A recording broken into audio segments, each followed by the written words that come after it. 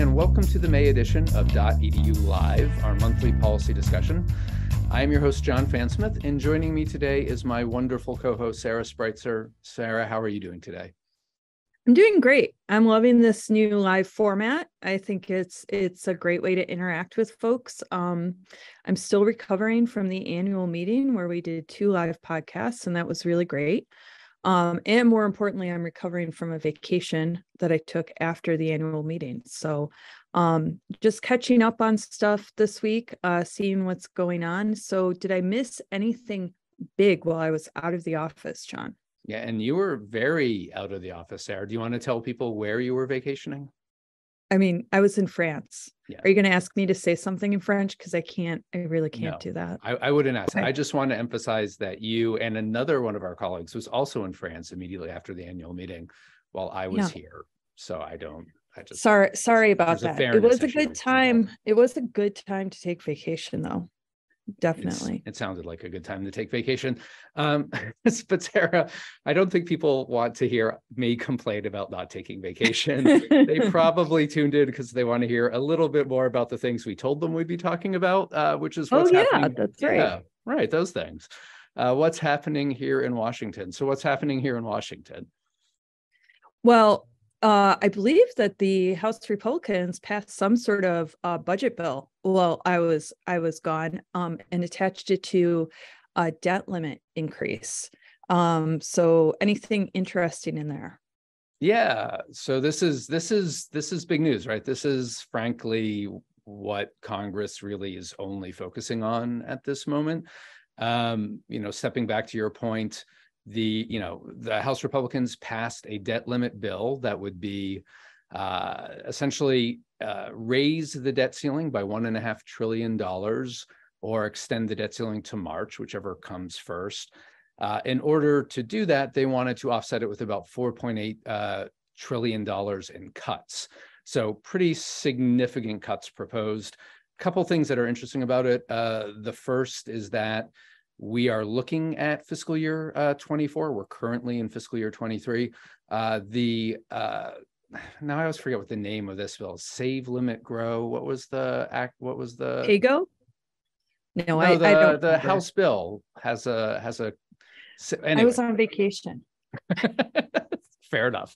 Um, anyway, it would take back spending for FY24 to FY22 levels. And mm-hmm. if you go back to the FY22 levels or big increases in FY23, it's about a $130 billion cut in funding. And all of that cut would come from the non defense side. So there are increases to defense, increases to non defense, but the cuts would come entirely from non defense. And that would be about a 22 or 23% cut, depending on which estimates you're looking at uh, that would be massive cuts to the programs we care about, things like student financial aid and scientific research and institutional support. Um, beyond even those massive proposed cuts, the bill would say that federal spending could only grow by 1% each year for each of the next 10 years. That's far below the average of annual increases Congress puts forward. Um, and then, really, maybe the thing that was most interesting is how much of this bill focused on higher ed specifically. Uh, there were really five big components of the bill the limits on spending, uh, rescinding money that hasn't been spent yet, that was COVID relief money that was sent out, uh, rolling back a bunch of green energy tax credits and, and programs, uh, things around limiting uh, social benefit programs like SNAP, essentially tying eligibility to those programs to more stringent work requirements and expanding the ages at which people have to participate in those. So really five things, those are the other four. The fifth was higher ed and there was a lot mm. on higher ed there and it's really reflective of how strongly congressional republicans dislike what the biden administration is doing around student loans. They this bill would propose that um, the student loan forgiveness program which is currently awaiting a decision by the supreme court it would bar that from going forward. Uh, it would bar the administration, the Department of Education has a proposal for income driven repayment program that would be the most generous loan repayment program out there. Uh, it would bar that from going into effect. It would end the student loan repayment pause. So that's set to resume likely around the end of August. Uh, it would end that immediately. And then one thing that's kind of unusual and, and, and pretty interesting. It would also bar the Department of Education from doing any regulations that increase the cost of the student loan program. So anything that would make the student loan programs more generous, they would be barred from doing. So as you can see, not just this sort of heavy emphasis on higher ed, but a really tight focus on limiting what the Biden administration has done on student loans. Well, and thanks to our wonderful colleague Amanda Winterstein from Penn State, she um, she reminded us that the bill's called the Limit Save Grow Act. And you know, Jon, we saw the uh, the president released his budget right uh, early in in March. Now we have the Republican budget. Does any of this actually matter? Yeah, so so it matters for a couple of reasons, and and I think uh, in some ways I buried the lead here a little bit. Uh, the reason we care about the debt ceiling limit is there lots of reasons to care about this. There's global economic implications um, beyond even the House proposal, which has a big impact on higher ed. Uh, most importantly, we don't have a whole lot of time, right? Uh, mm-hmm. yesterday, Treasury Secretary Janet Yellen said that they believe the X date, the date at which Treasury's ability to keep meeting our obligations through so-called extraordinary measures. Uh, that date uh, is June 1st. So we hit the limit on June 1st, according to Treasury. Mm. Uh, no need to remind folks today is May 2nd. That's not very far away. The other thing to keep in mind is, you know, the president has put forward his proposals. What he said is just raise the debt limit. They did it 3 mm-hmm. times. Congress did it three times during the Trump administration with no ties to spending cuts or anything else, just clean increases in the debt limit. Um, that's what the president would like. Uh, as we've seen, the House has a much more uh, aggressive approach to cutting spending that they want to accompany any increase in limit. They are very far apart. Uh, and again, it is May 2nd. X date is apparently June 1st. There's not a lot of time to close the gap between two proposals that are so far apart. Um, it's uh, not a great situation. The president has invited the four uh, majority and minority leaders from both chambers into the White House to meet on May 9th, uh, next week, a week from today. Uh, that will be the first time the president has spoken with Kevin McCarthy directly about the debt ceiling limit since the beginning of February. So there really has been no progress. And we have two very strong oppositional positions. The Senate's not doing a whole lot in this debate, although um, Majority Leader Schumer is apparently preparing a clean debt limit increase bill mm-hmm. just in case they can get agreement to do that. Seems unlikely they will. Uh, but there is a lot happening here. There's not a lot of time to do it and a lot of ground to cover up in their negotiations. Yeah, and one of the questions that we got, Jon, um, for for this uh, uh, public policy update was, you know, what if we if we actually default um, with our creditors or or Congress is unable to raise the debt limit, what does that mean for institutions of higher education? Yeah, so it's it's a good question in part because we have never defaulted. Uh, we don't know exactly what will happen in the case of a default. Uh, it does not it doesn't work the same way, or at least the expectations is it will not work the same way a government shutdown will. The government will not shut down because we're defaulting on our obligations. What we have seen in previous times when we've even gotten close to not meeting the debt limit is the markets react, interest rates start to skyrocket. Uh, there's some other economic impacts the broad expectation if we do default is that it might trigger a global recession again this is not specific to higher ed but you know we saw the impact of a global recession in 2008 states started cutting back their support for higher education lots of people suddenly became unemployed uh, large numbers of them enrolled in higher education to you know improve their skills in the competitive job market uh, you combine those two things both surging enrollments and declining state support uh, you really put a lot of financial struggle into uh, institutions who are really struggling with the impact of that. Uh, you mm-hmm. add to that the fact that in a recession, you have lots more students with significantly higher financial need. Uh, it's a very, very difficult uh, environment for higher ed. And, and the federal programs, particularly things like Pell that are tied to financial need, the cost of those programs begin to skyrocket too. So there's a lot of cyclical impacts that happen Again, we don't know exactly what might happen if we default. We've never done it, uh, but it's not going to be good news. Uh, very unlikely to be anything uh, other than a lot of hardship for people. Yeah, and there seems to be at least bipartisan agreement that it will be bad if it does happen. Yeah, um, although how bad seems to be a matter of dispute, but yeah. Right, right. But you you started out by talking about there's only one thing that Congress needs to get done uh, this year, and it's the debt limit. And actually, there's a few other things that they're working on. Um, uh, I've been following the National Defense Authorization Act um, as I do every year, and they've actually started scheduling um, the markup, at least in the House, of that bill at the end of May.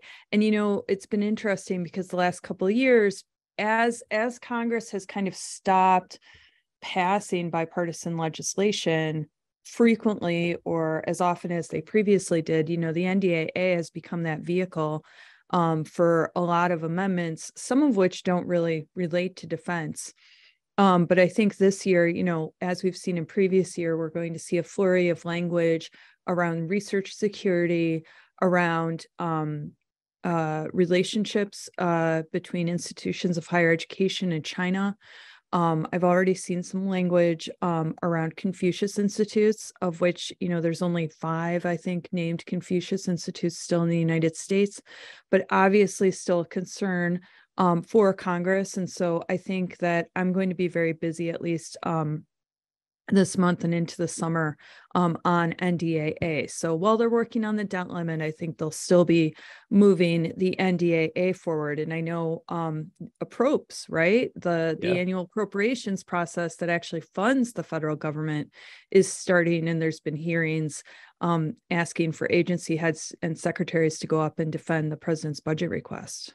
Yeah, uh, I mean, uh, there's been a number of hearings. I think probably more importantly uh, the House has already announced that they're going to start doing markups of their bills, uh, really starting mid-May and moving forward through the subcommittees and out to the full committees. That's obviously important for a lot of reasons, moving the bills forward. But one of the things about these bills is they now have a level, right? They I talked about that FY22 levels, the cuts mm. to uh, the non-defense side of the budget uh, these bills are going to be marked up at those levels. You know, you know, I said earlier, right, a 22, 23% cut in funding. Um, you're going to have to start seeing proposals put forward that are going to implement cuts at that level in the House. And again, it's highly unlikely that that will be the ultimate outcome. It's, it would be very surprising if at the end of these negotiations on the debt ceiling, uh, the president and, and congressional Democrats agreed to go along with cuts at that level. But we're going to see proposals. That are going to have very scary numbers in them things that are going to slash student aid programs. The mm-hmm. idea mm-hmm. of certain programs being proposed for elimination entirely seems very likely when we start to see these bills coming out of committee. Um, you know i don't want to frighten people. This that will not be what we ultimately see. This is a long process. It involves mm-hmm. lots of parties uh, and extended negotiations probably won't be resolved till closer to the end of the year but the early phase is going to look very worrisome for higher ed.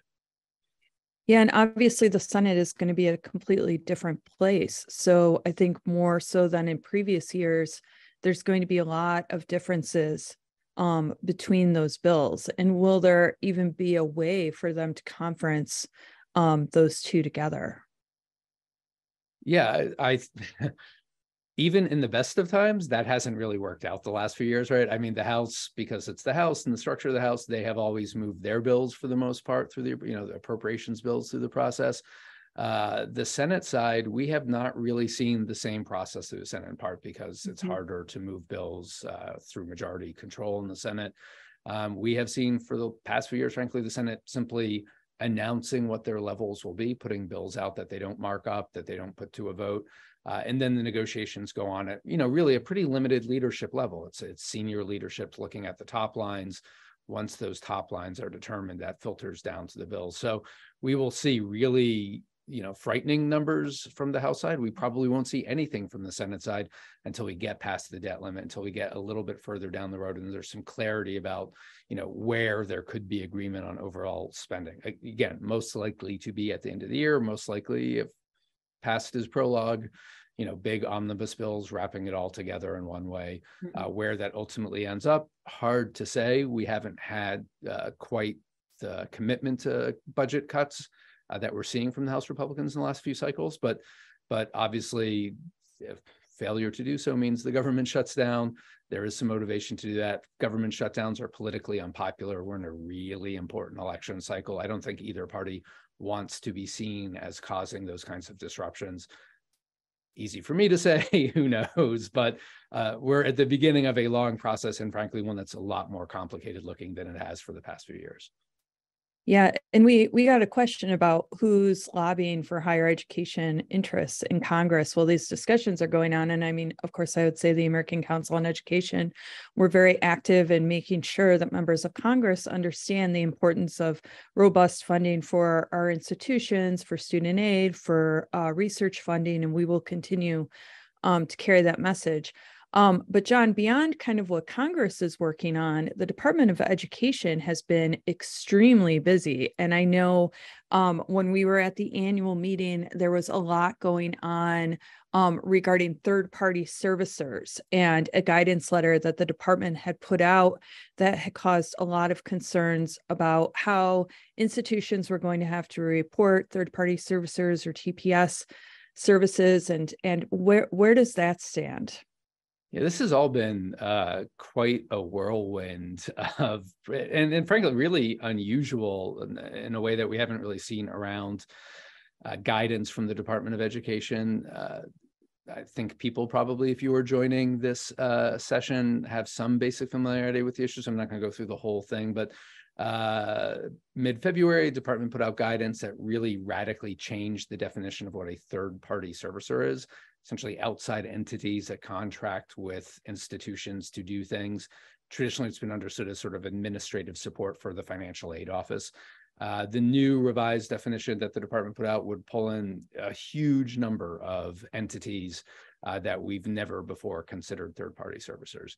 Um, it raised a lot of concerns. It raised a lot of concerns from lots of different areas of higher education. AC filed uh, a comment letter to the Department of Ed uh, that had 85 different organizations on it. Uh, maybe more importantly, even than the broad community letter, was that there are about a thousand other comments, overwhelmingly from institutions themselves, talking about what this mm-hmm. would mean for them, made it really clear what the impact would be for individual institutions. And to their credit, the Department of Education saw that. They reviewed the information, they reviewed the comments, and very quickly they reversed themselves. Um, kind of unusual, right? Uh, mm-hmm the comments were due on a Thursday, uh, and then on the subsequent, or I guess a week and a half later, in a blog post, the Department of Education announced that they were uh, indefinitely suspending this guidance. That they would say, mm-hmm. uh, schools, it will only go into effect six months after revised guidance is put out. Schools wouldn't have to report on those relationships until that same point. So, really, functionally, there is a huge amount of time before we see this. And frankly, we may never really see that uh, coming out, given some of the backlash and the concerns they have. Now, the big qualifier there is one of the topics that the department is looking at for negotiated rulemaking, which is this Mm-hmm. process by which the Department of Education brings stakeholders together to negotiate around different regulatory proposals.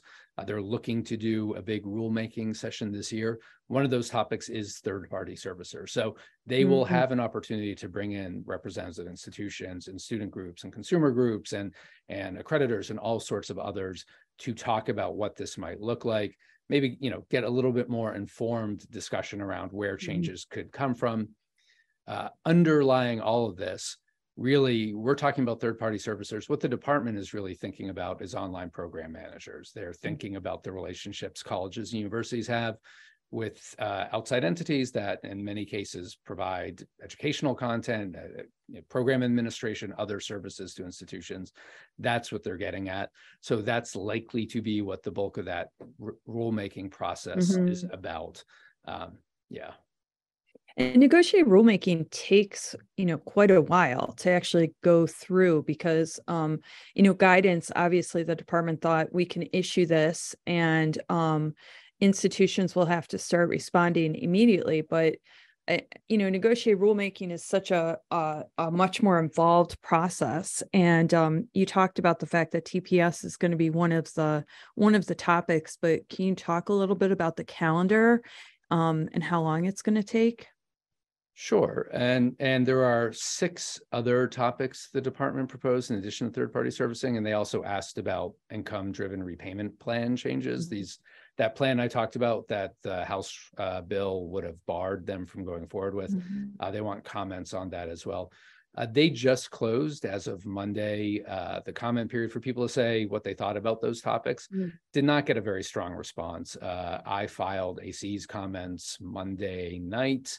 And at that point, only 10 other comments had been filed. You know, some may have mm. come in after we did ours, but not a strong response. It's really just, I think, a recognition of the fact that the topics the department has put forward in previous rounds of rulemaking are generally the ones they've then gone ahead with the rulemaking on. So, mm. uh, you know, they're likely to pursue those seven that I referenced. Now that they've closed that period for the comments and topics, we expect to see probably within a month or so. Uh, the department formally announced that they're moving forward on rulemaking on those seven issues uh, and then ask for negotiators to be nominated. This is a process by which you know associations and institutions and other organizations look at the different spots that are reserved for negotiators at the table and submit people they think would be good candidates to, to represent the interests of their sector uh, in those negotiations. The expectation here in DC is that they will assemble the negotiating panels, announce them, and then begin rulemaking sessions probably in September. And, and what they have done so far, which is traditional, is to do three rounds of rulemaking, one each month, each taking about a week. So you'd see one week in September, one week in October, one week in November. Uh, that's the likeliest outcome again, these are big technical issues that they're talking about, things like uh, return to Title IV and cash management, accreditation, distance education. Mm-hmm. These are not really simple or you know easy to grasp concepts. So getting this right, having a lot of informed technical expertise at the table is going to be important. That's why the comments that we did file around the topics essentially didn't speak to the topics themselves, but said it's really important that you start thinking about splitting up these topics into different mm-hmm. committees because the trend has been one rulemaking committee that covers seven, eight, ten issues, uh, usually very different in terms of what they are. And that for things like this that are so technical, having the right experience at the table is going to be really important uh, to getting it right. So instead of trying to find you know 20 or so people who have expertise across all of these areas which is just highly unlikely you'd be able to do that mm-hmm. uh, we're asking them to think about splitting it up in a way that makes a little bit more sense so that you have the right people at the table for that well you know in the lead up to the presidential election um next year which i know is going to be really exciting time here in dc being sarcastic if folks can't hear that over the um, over the mic. But um, you know, once something is goes through actual rulemaking, it's much harder to unwind for the next administration. I mean,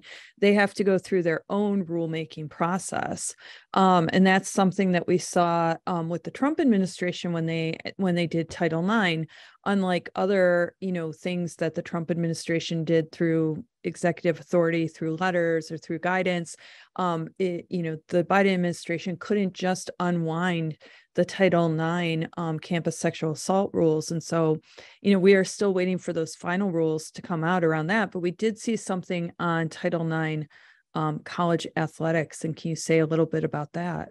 Yeah um, so and this came out uh, partly as a result of the negotiations around the broader Title IX package and, and particularly the Biden administration's response undoing the Trump administration's regulations that they had uh, passed around Title IX.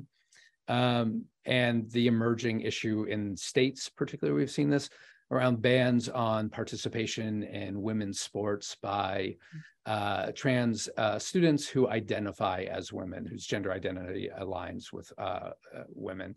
Um, the Department of Education essentially announced that they would they would address this issue in a separate Title IX rulemaking. Uh, for a while, uh, there was an expectation we'd see that relatively soon. It took a while, but uh, the department released it uh, beginning of last month. Uh, they have it out for comment.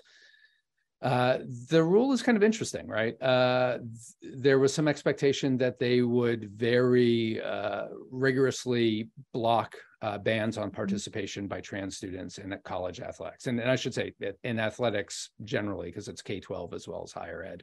Uh, but that's not what they actually proposed. Instead, what they said was each institution has the responsibility to determine really on a sport by sport basis, not a broad policy even for their campus, mm-hmm. uh, but on a sport by sport basis, the ability of students to participate in athletics by their, you know, that as it relates to their gender identity.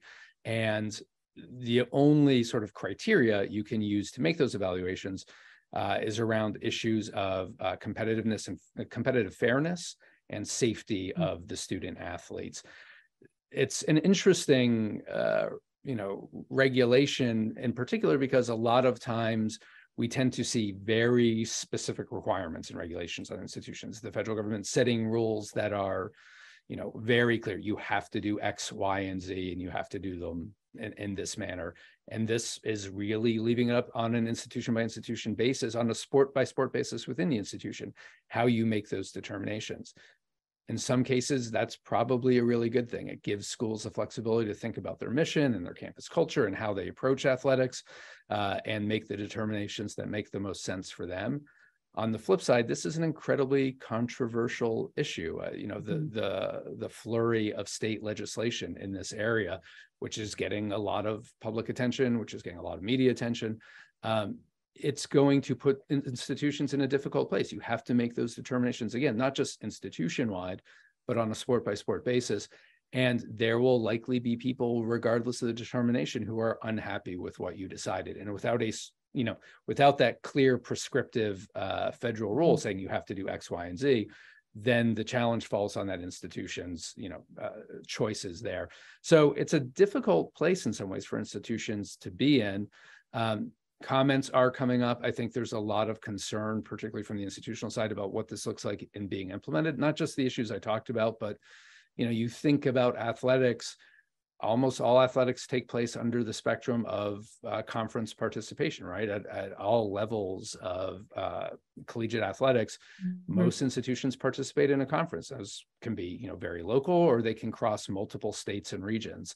Uh, how you determine the fact that every institution is responsible for making their own individual determinations, what that means for competitive fairness and and and equity issues and others across a conference where institutions may be making very different decisions that's going to be hard to sort out. And the, and the rule doesn't allow for that sort of collaborative approach to making those determinations.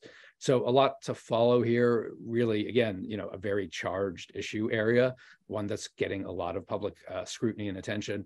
Uh, and it really will once implemented i think put institutions in a difficult position of thinking through very clearly what their policies are and how they how they implement them and how they justify them to the public. Do you think that's one that's likely to end up in the courts?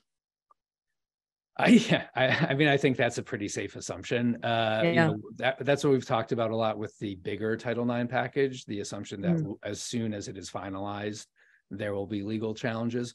My guess is that would be the case here. That you know, and something sort of worth noting is you know, the athletics piece came out of the discussions uh, around the broader Title IX uh, uh, guide regulations. How these are going to be coordinated? Will they be finalized around the same time? What's the mm-hmm. release schedule? I think people still are very unsure of uh, how that will work. So you may have them be introduced, finalized two separate points in time, both separate, you know, subject to separate court challenges. Maybe they'll be finalized at the same time, put forward as a total package. Just not clear at this point. That's great. So a lot going on in DC. It sounds like I did miss a little bit of stuff while I was out. um, but we we have some we do have some questions that were submitted beforehand and and I just remind everybody listening um or who are participating in our live podcast to please submit questions through the chat. Um, and one question that we had, Jon, was um, the College Transparency Act. This has yeah. been something that a lot of the higher education community has championed over the years. It's been introduced to multiple Congresses. It's been reintroduced now in this Congress. Um, does it have a path forward? Is it is this the year that we will see it passed? Yeah, you know, this is College Transparency Act. So it was reintroduced this week on Tuesday. Um, it keeps gaining momentum. There's some things where you look at and you say this might be the Congress where there's a chance for it to advance. I should say uh, AC uh, is supportive of the College Transparency Act. We would like to see it advanced uh, and enacted into law.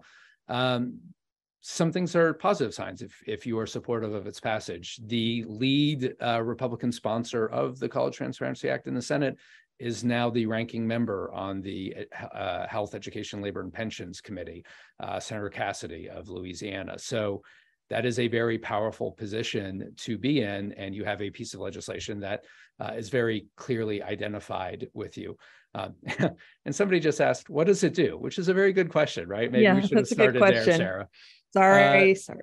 The College Transparency Act does a few things, but the most important thing it does is it would create a uh, student unit record level database at the Department of Education.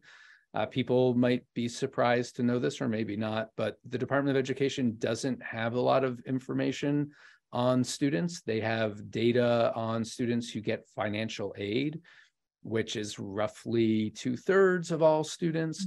But that's a big portion of the student population. They don't have any information on when they start, when they complete.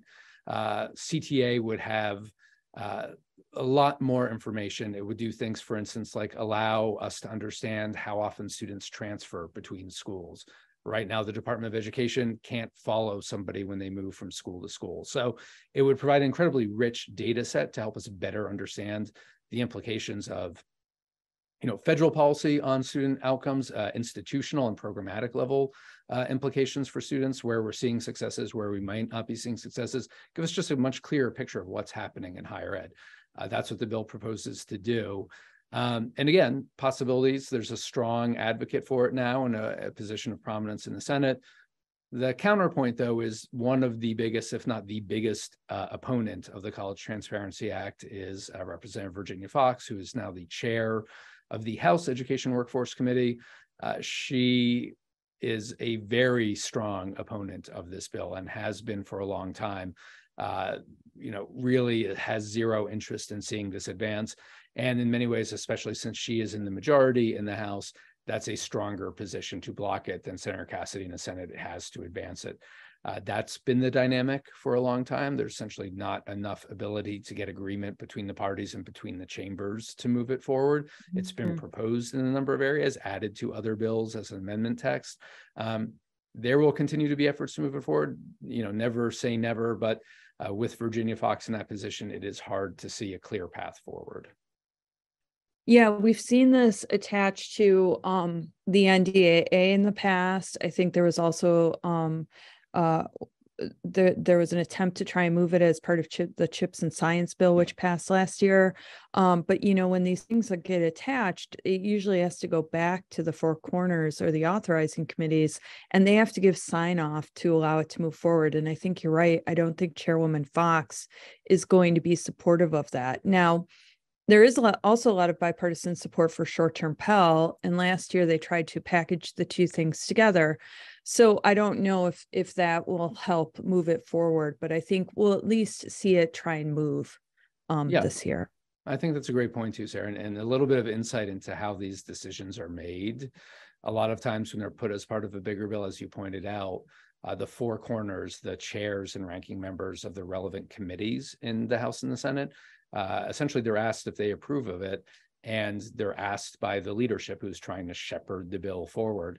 Uh, you know, you wonder why one of the four can block something. Well, it's because mm-hmm. leadership is weighing hundreds of possible pieces of legislation and they just don't want a problem, right? Like there are many things where they can get bipartisan consensus, consensus between the two chambers. That's easy to move forward. If even one member objects, uh, it can really throw a roadblock into getting that considered as part of a final package. So that is part of the problem here still, again, as you point out, could be bundled with things that have bipartisan support, like mm-hmm. workforce Pell.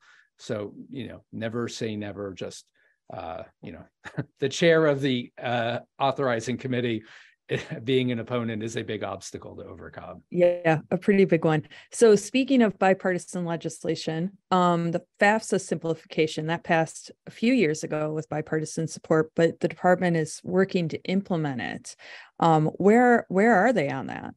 Yeah, and this is another one, kind of like TPS. It's been a bit of a saga. So, and actually, uh, kind of relevant to some of the other things we talked about too. FAFSA simplification was a bill. It was included in a big end of year spending bill, uh, so it wasn't passed on its own, sort of through traditional, you know, lawmaking order. Uh, and by and large, we think that this is going to be a good thing. It is simplifying the form. It should help more students uh, access financial aid, uh, particularly around things like Pell Grants. There's a very clear benefit that we think more students will be eligible for Pell Grants, and a larger percentage of those students will receive a larger Pell Grant as a result.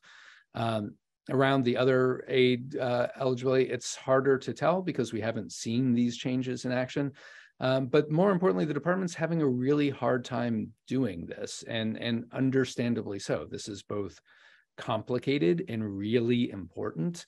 Um, they have been trying. They were supposed to have everything in place last year. They knew that they couldn't do it, so Congress essentially gave them a one-year extension. They have to do it by this year the goal really the target deadline has always been october 1st october 1st is a deadline that we use for fafsa. We've gone to what's you know an early fafsa application in the last few years. That's primarily to help low income students uh, have more time to see what their aid offers are look at them across different institutions help inform their search so that they have you know the, the most information they can make when they're trying to make a decision about an institution. It's also really important to schools because it gives them additional time for enrollment decisions and to understand what aid applications is to help shape a class as, as they're considering enrollment and admissions decisions. Um, the department's going to miss that October 1st deadline. They've announced this publicly. They have said it would take, uh, they will be able to have the FAFSA out sometime in December. Originally, they said early December. Now they're talking more about maybe mid December. Uh, they are required by law to have it in place by January 1st. They've said absolutely they will hit that target, but they seem to be creeping closer and closer to that January 1st deadline as it is. It will only happen this year. That that delay will only happen this year. It should be in place for next year. It'll return to normal operations, the October 1st target date. Uh, but it's going to be meaningfully impactful. We, you know, we were at our annual meeting and I don't know, you were in sessions with me, Sarah, right? Like how many people stood up and said, look, by yeah. November, I've already packaged 7,000 students, mm-hmm. right? I've already made admissions uh, application, you know, acceptances out to 11,000 students. This is going to have a big impact on campuses and, and in particular, a big impact on low income students who are the ones we're most worried about, right? Like the, who have the mm-hmm. hardest time, you know, entering college and, and, you know, managing the system. So it is a problem. The department, to their credit, is doing as much as they can. They take the seriousness of this uh, to heart. They want to make sure there aren't the kind of problems you see sometimes when you know programs are rolled out by the federal government. They are doing what they can to assure quality here. Uh, and they're working on, frankly, limited resources. The the last funding bill did not give the federal student aid office, the office that oversees this at the Department of Education, uh, kept them level funding, so no new money you think about all the other things they're being asked to do around loan forgiveness and student loan repayment resumption, all these big other things they have to do, as well as change the entire financial aid calculation system. It's not mm-hmm. surprising mm-hmm. they're having a hard time with it, especially without any additional resources. That said, you know, we can't ignore those concerns. These are really meaningful to institutions, really meaningful to low income students, uh, and mm-hmm. frankly, an area of great concern for us right now. So speaking of deadlines, uh, the department also recently uh, granted extension for the spending of HEERF dollars, the higher education emergency relief funds uh, that were included in the COVID relief bills. Uh, what what's the new deadline, Jon? And does anybody still have HEERF dollars left to spend? Yeah, so it's actually I I spoke with uh, Politico about this last week, I think. Uh, and I was a little bit surprised by the amount. It's not that much. The department estimates that there's roughly five and a half billion dollars in unspent HEERF funds. These were the COVID relief funds, the higher education emergency mm-hmm. relief funds that came out of the COVID bills. Um, there were approximately 700 institutions that still have some money left that they haven't spent out. Uh, this is actually in kind of marked contrast to K 12, where there are tens of billions of dollars that have not been obligated mm-hmm. yet. Uh, and you know we we've been tracking this money for a while really you know throughout the process what we've heard from campuses is that it, this is not sort of an omission it's not like they forgot they had uh, HEERF money lying around it's that in a lot of cases you have things like you contracted with a vendor, say a hmm. telehealth mm. provider for mental health services, and you pay them monthly and you have a contract for two years. So you're holding mm. the money but paying it out over time. Or other things, you, you know, your uh, air uh, ventilation system, you want to add purification elements to it. Well, everybody was doing that during the pandemic. So supply mm-hmm. chain issues and other things made the equipment and the, the vendors who could install it for you harder to access. You might have budgeted money towards that and simply not been able to spend that money out because the equipment's not available. The vendors who install it are busy with other things. Uh, it's not like you're not using it. It's just obligated, but you haven't had the ability to spend it. So you know, relatively not that much money in the grand scheme of things. Only again about five and a half billion out of about 77 billion total. Uh, relative to a lot of the other COVID relief programs, where you see we talked about the House bill would rescind a lot of that uh, COVID relief money. Higher Ed's done a great job. Higher Ed got the money in and got the money out uh, to you know students in particular. The student aid portion of that went out the door very quickly. The institutional side, there is some remaining money, but again, usually it's it's very much accounted for and obligated in institutional expenses so you know something track the department is offering extensions you have to apply for an extension of one more year uh, last year they granted them automatically uh, for those institutions in those situations i talked about uh, they will apply is very likely the department will accept it but it's good due diligence by the department they want you to explain why you need it an extension why you need the additional time they're not looking to penalize institutions. They just want to make sure that these are thoughtful and intentional decisions by a campus before they grant the extension. So, Jon, we have about four minutes left, and it might be good just to um, wrap up with a kind of looking forward to the summer um, type thing. What we're what we're waiting for. Somebody asked about Department of Labor uh, rules around um, FLSA, which has to do with um, uh, exempt employees and non-exempt employees and who you're paying overtime. I think that's something that we're going to continue to watch for to see whether or not it's going to be issued this summer. Um, we also have the Title IX rules, the, the large package that we're waiting to see if that happens this summer. And then one of the big things that we're watching is the UNC Harvard race conscious yeah. admissions case um, that the Supreme Court is expect, expected to issue a ruling on. And I know we talked a lot about that at our recent annual meeting. Yeah, that I mean that I, you and I both have the same experience there. I don't know how many presidents and other senior administrators wanted to talk about that and what the possible impact will be. Um, and I should say, actually, at that meeting, we had a session led by, or organized, I should say, by ACE's general counsel Pete McDonough, where you had uh, general counsels and and college presidents and other folks talking about uh, what the environment looks like, what schools can do to prepare, what schools can do to keep uh, building diverse classes if, as is widely expected, the Supreme Court strikes down the consideration of race in admissions. It's a difficult situation. We have looked at all sorts of things. You know, I know Georgetown Center for Education and Workforce did a report on this where they looked at alternative methods schools use to increase the diversity of their classes and found that you know while helpful all of them fall short of being able to consider race in admissions we did our own research at ACE where we looked at states that had implemented bans on the consideration of race in admissions. And what you found out when you looked at those states is that uh, for selective institutions even in states where population you know enrollment overall was jumping by double digit percentages uh, the percentage of black students for instance declined so even as overall enrollment was surging at those institutions, the percentage of the Black students there declined. You flip that around to open access institutions, places that are admitting you know, 80% or more of their applicants. And in states where you bought, you know, banned the consideration of race, even those states where enrollment overall was declining by huge percentages, the percentage of students of color at those institutions, the open access ones, grew significantly. So you are seeing mm-hmm. a market impact of a shift away from selective institutions to less selective institutions of students of color in those states. That is likely what we will see nationally when the Supreme Court rules.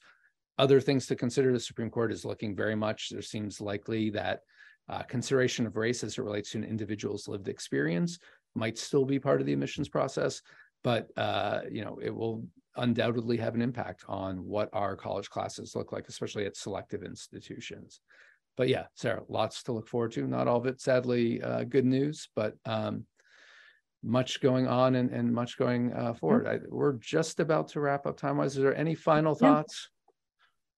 No, I would just say, you know, I think uh, we talk about this a lot.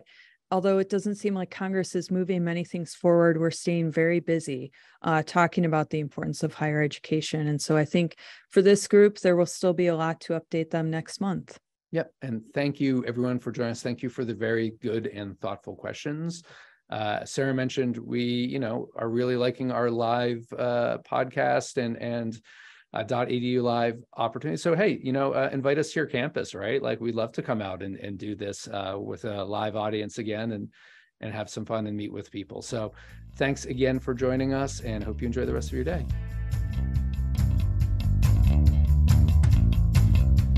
As always, you can check out earlier episodes and subscribe to dotEDU on Apple, Google Podcast, Spotify, Stitcher, or wherever you listen to your podcast. For show notes and links to the resources mentioned in the episode, you can go to our website at acenet.edu backslash podcast. While there, please take a short survey to let us know how we're doing. You can also email us at podcast at acenet.edu to give us suggestions on upcoming shows and guests. And finally, a very big thank you to the producers who helped pull this podcast together Lori Arnston, Audrey Hamilton, Malcolm Moore, Anthony Trueheart, Rebecca Morris, Jack Nicholson, and Fatma Gom. They do an incredible job making this happen and making John Mushtak and I sound as good as possible. Finally, thank you so much to all of you for listening.